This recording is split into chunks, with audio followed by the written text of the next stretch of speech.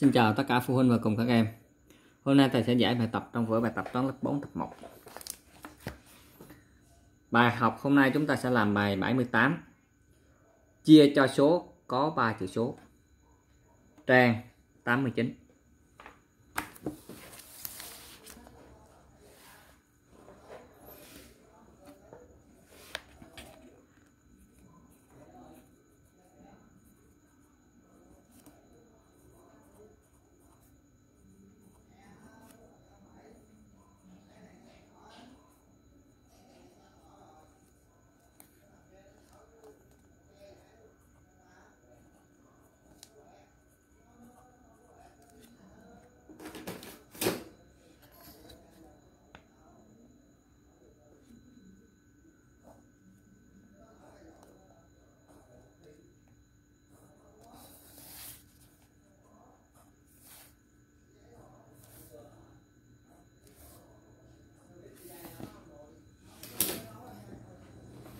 À, bây giờ chia cho số có 3 chữ số.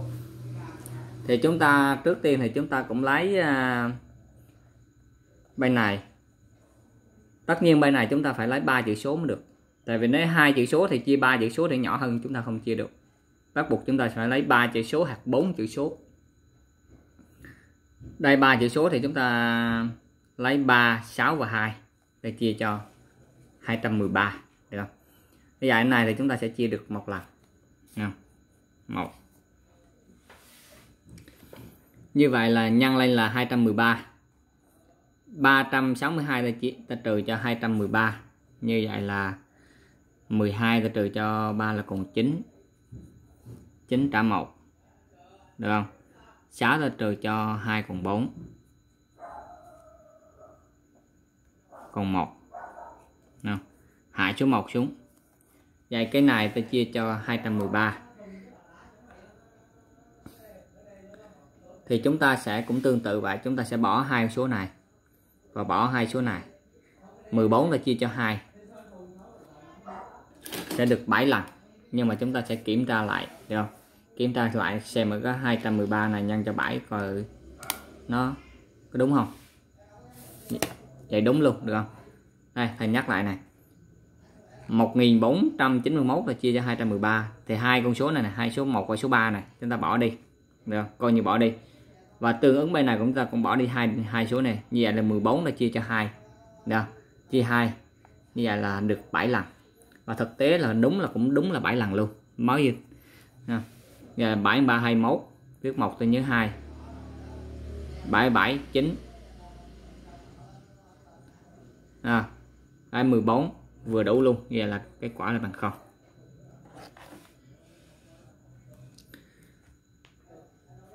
rồi cái này thì à, 8 800 chia cho 300 à, là 8 như vậy là số 0 và số 8 ta bỏ đi. Hai số 0 ta bỏ đi số 8 ta nhẩm cho 2 à, quay số 8 là ta nhẩm cho 3 ta chia 3 là được hai lần.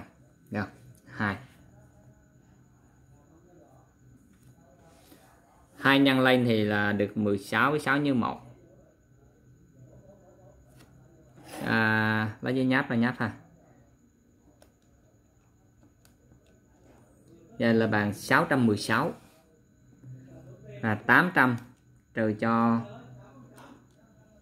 616 là bằng 184 hạ chú không này xuống. Cái này chia cho cái này thì chúng ta bỏ hai chú không này đi và bên này cũng tương ứng tôi bảo hai số bên này đi. Ta bỏ số 4 và số 0 bên này chúng ta bỏ số 0 và số 8 nha bỏ số 0 và số 8 bên này chúng ta sẽ bỏ số 4 và số 0 18 ta nhận để chia cho 3 là được 6 được không? Được 6 nhưng mà chúng ta phải kiểm tra là coi 6 này có có, có đủ hay không. Chúng ta nhân ngược lên đây chúng ta xem 16 có đủ hay không. Chứ nếu như chúng ta nhân lên mà 6 là nó dư là không có được được không? ta nhân 6 nó lên là nó bị dư. Rồi 6 không được. Và chúng ta sẽ hạ xuống 5 bây giờ là 308 chúng ta nhân cho 5 là bằng 1540 1840 là trừ cho. Giờ là còn là 300 300 Rồi để thầy kiểm tra lại máy tính coi phải hay không khi xong mà số dễ dư hơi lớn vậy cộng cho 300 vậy dạ, đúng rồi đó. Thế chia đúng.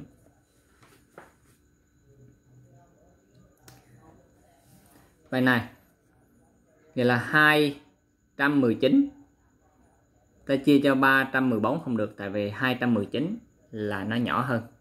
Buộc lòng chúng ta phải lấy tới 4 chữ số này luôn như vậy là con 1 phần 4 chúng ta bỏ. Ha, ta nhẩm. Con 9 phần 8 chúng ta bỏ. Như vậy là 21 chúng ta chia 3 là được 7 được 7 thì chúng ta phải nhẩm lại kiểm tra lại coi thử 7 ta nhân cho 314 nhân 7 coi có đúng không? Có nhỏ hơn hay không? Đây nhân nhẩm 7 là vừa đủ luôn. Nhân lên. Thì vừa đủ luôn cái số này luôn. Cho nên kết quả là trừ nhau bằng không. Cái này cũng tương tự vậy 168 tôi chia cho 2 là 9 không được. Ta lấy là bốn chữ số luôn. Được bốn chữ số thì số 0 và số 9 thì chúng ta bỏ. Và tương ứng với số 8 và số 2 chúng ta bỏ. Vậy 16 ta chia cho 2 là bằng 8 nhưng mà chưa hẳn là 8 là bằng đúng đúng không? Chúng ta phải kiểm tra lại. Chúng ta lấy 2 là 9 ta nhân cho 8 coi đúng hay không? Là được. 8 được. 2 là 9 ta nhân 8 là ra là 1672 1672 mà 1872 ta trừ cho 1672 là cùng 10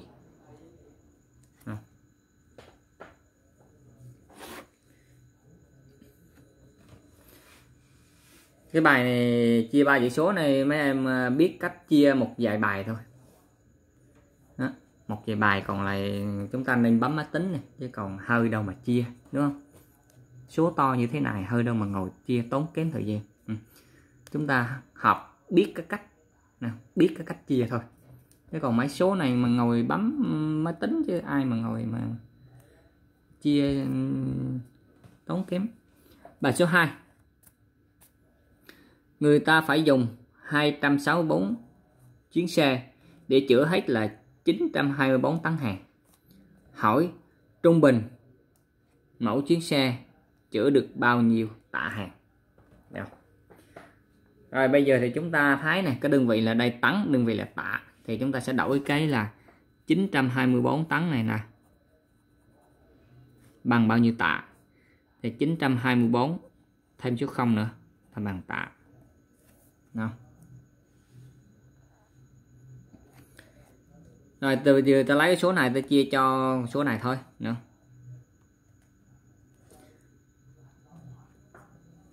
rồi, số tạ hàng.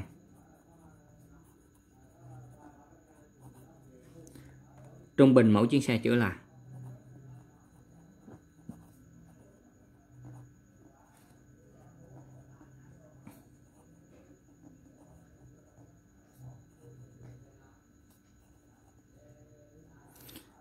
ta lấy 9240 chia cho tổng uh, số chuyến là 264 nè lấy máy tính thì bấm ha.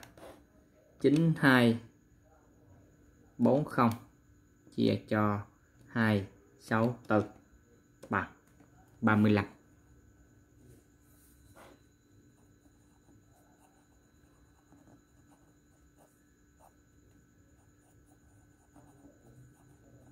đáp số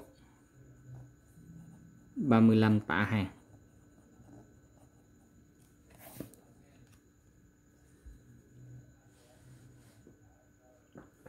Bài số 3 tính bằng hai cách. Rồi, cách thứ nhất. Thì chúng ta cứ chia cái này ra, ha. cái dấu cộng này chúng ta ghi lại nè. Nè, dấu cộng này chúng ta ghi lại nè. Cậu này chúng ta chia rồi này chúng ta chia. Bây giờ thầy lấy máy tính, thầy bấm cái này ha. Cái hai đâu mà ngồi chia. 1 2 3 chia cho 365 nhà này là bằng 7 cậu này chia ra là bao nhiêu? 1 8 2 5 chia cho 3 6 5 bằng 5 ừ. hai cái này cộng lại là bằng 12 rồi cái này nè. Cái này chia là bằng 7 nè.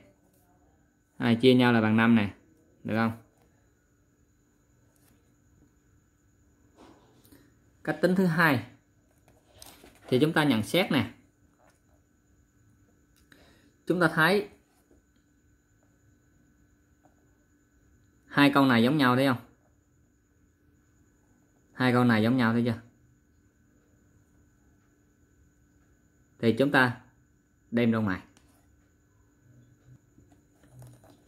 Rồi bây giờ chúng ta thấy này. Cái cụm này đó.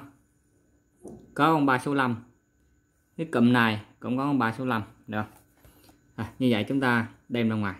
À, 2 5 5 5 ta cộng cho 1 825 đóng ngoặc lại và thầy chia cho 365 được Rồi, hai cái này cộng lại với nhau là bằng 10 à, 5 7 8 8 5 13 34 được không? Chia cho 365 nào 4380 chia cho 365 nhà hai này chia nhau là bằng 12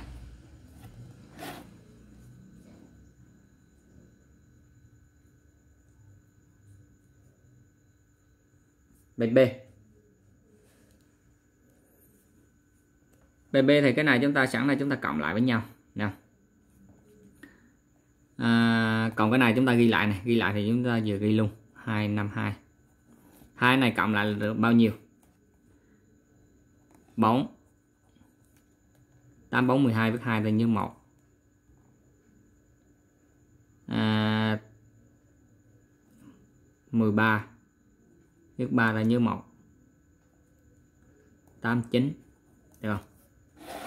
Rồi hai này chia nhau. 93 24 chia cho 252 bằng 37